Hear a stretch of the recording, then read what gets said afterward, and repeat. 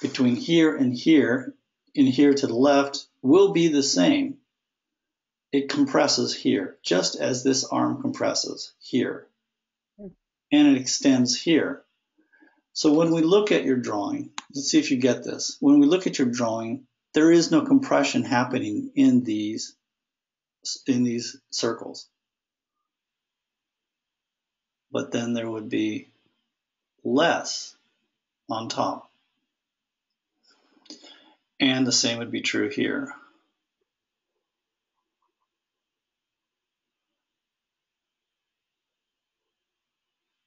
And I'm leaving the notch out of it, but the distance between here and here will be less than the distance between here and there. A square that's flat, just like a circle is flat to us. Mm-hmm. Has no perspective. But if we make if we tip this back end down here, away from us,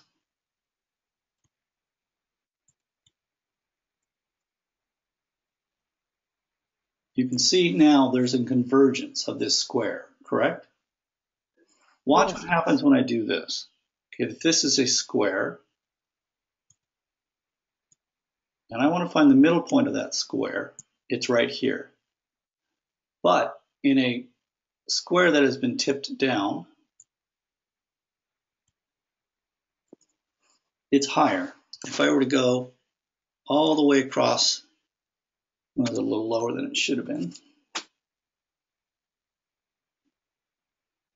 See how this is in the middle?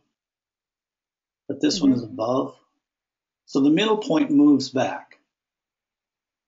The idea then is that there's less, if this is,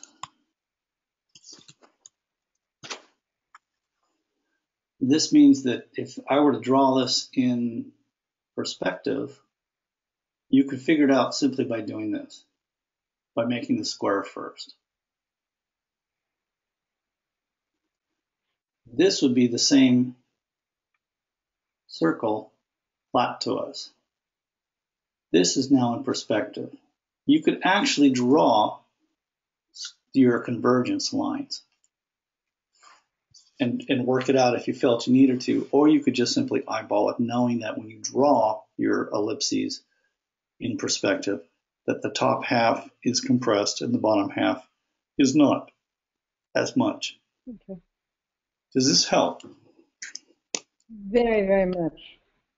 This is true also, by the way, if you're like doing the wheels of a cart or a car.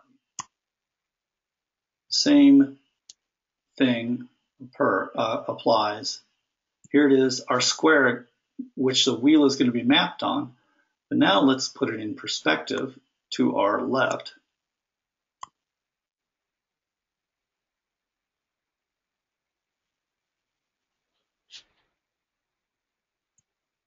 So what happens is, you know, the wheel,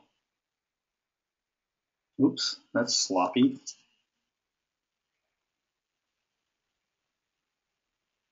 Is distorted by perspective. If the center point is back here, if there's another circle, like the inside hubcap, you're going to have less space between this part of the tire and the front leading edge of the tire. Because this is more mm -hmm. compressed, just like the whole circle is more compressed, the space between the two circles is compressed, whereas this isn't. So if you had two pads on top of each other, they're each going to show a compression as they move back into space. Did you follow that? Yes.